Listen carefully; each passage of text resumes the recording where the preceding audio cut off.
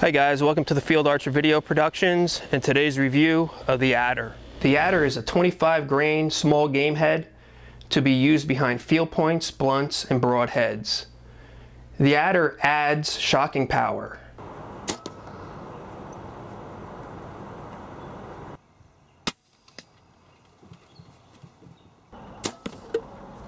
Helps prevent arrow loss